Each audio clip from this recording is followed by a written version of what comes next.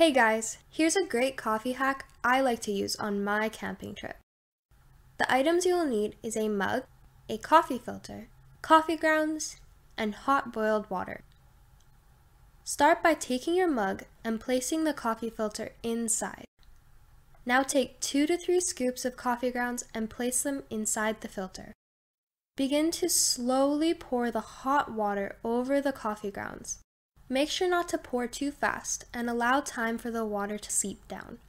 Cover the coffee grounds and leave about an inch from the top of the mug.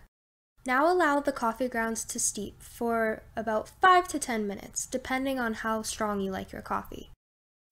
After you've left your mug, carefully grab the edges of the coffee filter and lift it up. Squeeze out any excess water and discard the coffee filter. Now enjoy your cup of joe and have a